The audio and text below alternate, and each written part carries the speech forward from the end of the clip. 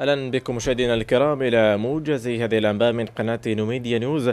والبداية من الجزائر اين أين شيع الفنان القدير أسد الشاشة الجزائريه سيد علي كويرات بعد ظهر اليوم بمقبرة العاشور ببلدية دراريا بالعاصمة بحضور فني واعلامي كبير.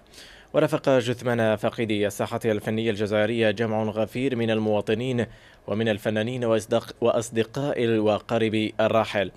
وكان الفنان القدير سيد علي كويرات توفي في مستشفى النعجة مساء أمس الأحد عن عمر ناهز 82 سنة. رحم الله الفقيد وأسكنه فسيح جناته. إن لله وإنا إليه راجعون.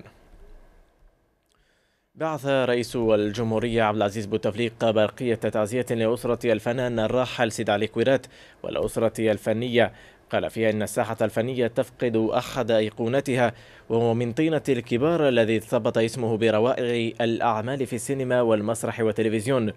وعدد رئيس بوتفليقة مناقب الراحل الذي قال بأنه من أبرز الوجوه التي صنعت السينما الجزائرية. فارخوا بذلك ثورة أول نوفمبر المجيدة بمشاهد سينمائية تحفظ الذاكرة الجماعية.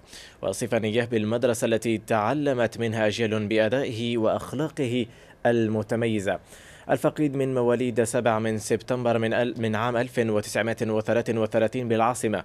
ترك بصمته في عالم السينما الجزائرية منذ الاستقلال وذلك خلال مشاركته في العديد من الأعمال من بينها العفيون والعصا ووقائع سنوات الجمر وفيلم ديسمبر وغيرها.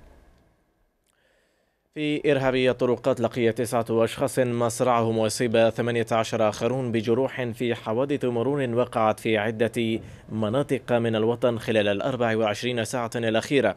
حسب ما أفادت به هذا الاثنين حصيلة للحماية المدنية.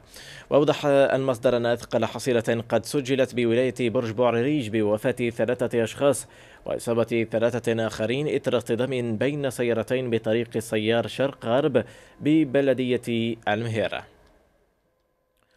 دوليا في مالي قالت وزارة الدفاع الفرنسية.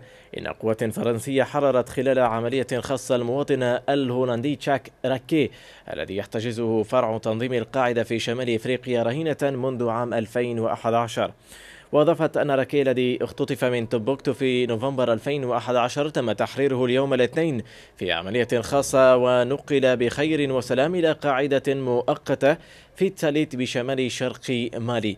وقال المتحدث باسم العملية العسكرية التي تخوضها فرنسا في مالي إن القوات الفرنسية قتلت اثنين من المتشددين وألقت القبض على اثنين آخرين في اشتباكات اندلعت خلال العملية التي بدأت في الساعة الأولى من الصباح.